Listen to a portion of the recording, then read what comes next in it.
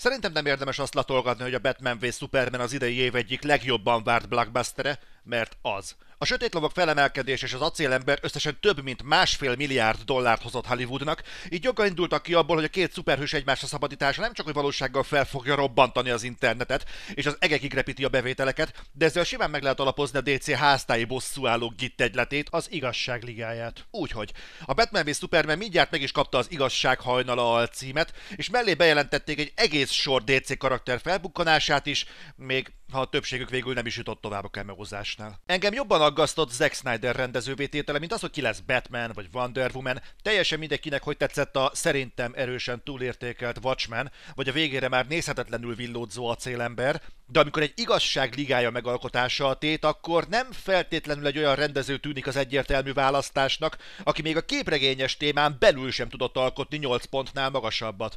Felmerül a kérdés, hogy a Warneren belül tényleg senki nem volt erre alkalmasabb? Vagy csak senki más nem vállalta el? Na mindegy, nem húzom tovább senkinek az agyát, lássuk milyen lett a Batman v Superman. A jelek szerint Snyder megkapta feladatként, hogy amennyire csak lehet járja végig a Chris Nolan által lefektetett sötét realista ösvényt, és valahogy ezen a tengelyen próbálja közös nevezőre hozni a Gademi Denevért és Krypton fiát. Na most, azt hiszem kellően sok Snyder filmet láttam ahhoz, hogy határozottan állíthassam, Zack Snydernek halvány gőze nincs mit jelent a sötét tónus. Nem azt, hogy Gademben és Metropolisban állandóan éjszaka van, hanem azt, hogy a karakterek döntésének húsba vágó valós következménye van, hogy morális kérdéseket feszeget és megpróbálja feltárni a cselekedetek mögötti valódi mozgatórugót. Mondok egy példát. Emlékeztek a Batman Begins bosszúvágytól fűtött Bruce Wayne-ére, aki a kiképzése kritikus pillanatában felfedi, hogyan képzeli el az igazságszolgáltatást? Abban a pár percben képet kapunk Batman igazságszolgáltatás címen alkotott morális sarokpontjairól, amit utána megpróbál kikezdeni a madáriesztő, Joker és persze Bane. Batman az emeli az elítéltek fölé, hogy egyrészt ő nem öl meg senkit, másrészt ő nem tölti be az ítélőszék szerepét, hanem segíti helyreállítani a Gademi igazságszolgáltatást. Egyfelől nyilván nem akarja, hogy a halottak lelke az ő lelkén száradjon, másfelől pedig ezzel hosszú távon is fennmaradhat Batman öröksége. Superman hasonló figura. Bár minden hatalom adott számára, hogy belegyaluljon minket a házunk mögötti emésztőgödörbe, de jelentős morális gát akadályozza meg őt mindebben. Ő lényegében az emberiség modernkori mártírja. A belőlünk hiányzó lelkiismeret, aki tetteiért cserébe sokszor az emberi rossz indulat legsötétebb formájával kénytelen szembenézni, és akkor is meg kell maradni a Supermannek. És emellett mindkét hősnek hasonlóak a gyökerei. Mindkettejüknek megölték a szüleit, mindketten intelligensek, jóképűek, egyikük sem öl, mindketten titkolják valódi személyiségüket, ellentétben például vasemberrel. Egy igen jelentős különbség viszont van a két figurában, Batman ember, Superman viszont nem. És igazából erre húzzák fel végül kettejük konfliktusát. Superman ugyanis az acélember végén látott CGI boss fightban lényegében a földdel tette egyenlővé Metropolis városát, most pedig azt a szempontot látjuk, aki ebben a harcban járulékos veszteségként elvesztette a munkatársát, az anyját, a barátját, tulajdonképpen több ezer ember halt meg azon a délutánon, és ez a perspektívaváltás kifejezetten tetszett. Batman haragja mögött ugyanis az az érvál, hogy Superman nem tud uralkodni az erején, és számára az emberi lét semmit sem jelent, hiszen nem ember. Superman pedig egy önbíráskodó bűnözőt lát Batmanben, akinek rács mögött lenne a helye. Közben persze felbukkan a számtalan komplexussal küzdő Lex Luthor is, aki mindezt valamiért Supermanen akarja megtorolni, szóval szépen lassan összeáll a banda. Na jó, kezdjük azzal, ami jó volt. Eloszlatnám mindjárt a kételyeket, Jesse Eisenberg Lex Luthorja volt a film legnagyobb meglepetése. Bár nem olyan, mint a korábbi Superman filmekben, vagy akár a Lois és Clarkban, Eisenberg Luthorja kicsit közelebb áll Jokerhez, mint mondjuk a John Shee féle változat, és bár Eisenbergnek sem sikerült meggyőznie arról, hogy egy ilyen figura bármikor is vezethetne egy LexCorp méretű vállalatot, de mikor a konspiráló Lex Luthort alakította, abban szenzációsan jó volt.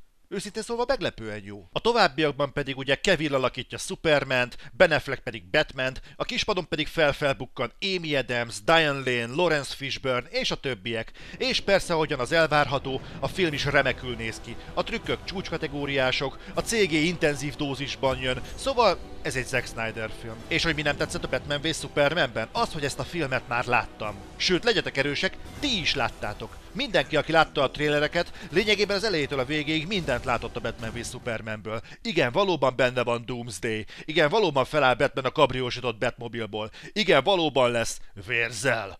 Majd Fox. Igen, tényleg benne van az a ciki beállás Wonder woman a trélerek végéről, és lényegében ennyi a Batman v Superman, feltöltve kínosan lassan vánszorgó alibizéssel. Van egy bot csinált a nyomozás Lex Luthor ügyletei után, de annyira amatőr és kínos, hogy Obi-Wan Kenobi klónok támadásabeli kutató munkája nem volt ilyen arcspiritú. Látványosan annyi haszna van, hogy Bruce Wayne egy fogadáson majd jól összefusson Wonder woman hogy majd ne történjen semmi. A karakterek közti mindennemű kémia hiányánál már csak az a feltűnőbb, hogy a Batman vagy Superman első bő órájában, de inkább 80 percében. A szó nagybetűs értelmében nem történik az égvilágon semmi pontosabban semmi akció. Karakterépítésre van számva ez az idő, de ahhoz meg olyan látványosan nem ért Snyder, mint én az akrilfesték felhasználáshoz. Felvet a film pár érdekes gondolatot, amivel nem kezd a világon semmit. Finch szenátor végignézte Metropolis lerombolását. Miért fúrja meg Lex Luthor tervét, hogy legyen az embereknek fegyvere Superman ellen? Van egy halálosan felesleges afrikai lövedék utáni nyomozás, csak hogy Amy Adams filmbeli szerepeltetése is valamivel indokolva legyen, de csak fontos percekkel nyújtja az amúgy sem rövid játékidőt. Szükségtelenül merül el a film olyan rész részletekben, aminek a kiderülte senkit az égvilágon nem érdekel, például a fehér portugál utáni nyomozás. Nyomasztóan terheli a filmet, miközben azt várjuk, hogy kezdődjön már el végre a történelem legnagyobb gladiátor harca, és itt jön a Batman v Superman legnagyobb hibája.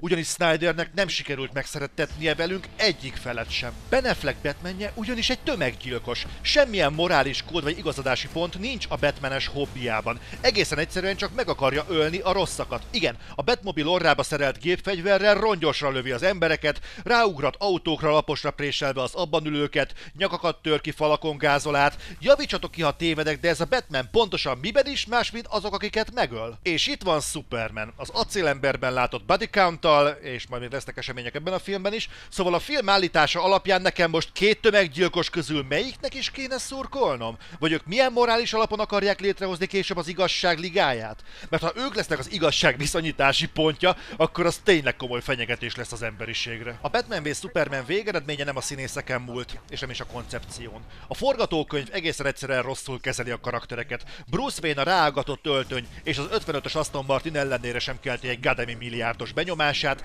Supermannek pedig talán összesen nincs 10 összetett mondata a filmben. A rendező meg egészen egyszerűen nem vette észre, hogy nincs két figura egy időben a vásznon, akik között bármilyen kémia fennállna. Pont mint a Sucker Punchnál, ami inkább volt Sucker, mint Punch. A Batman v Superman görcsösen igyekszik megfelelni a DC filmnek sötétnek kell lennie tézisnek, és biztos vagyok, hogy rengeteg embert fog bevonzani a cím a moziba, és könnyen előfordulhat, hogy én láttam rosszul a dolgokat, de ha tippelnem kéne, erre az alapra nem fognak folytatást felhúzni, nemhogy egy Justice League-et. Vagy ha mégis, azt biztosan nem Zack Snyderrel. Feltéve persze, hogy lesz egyébként bárki emberfia erre a pozícióra.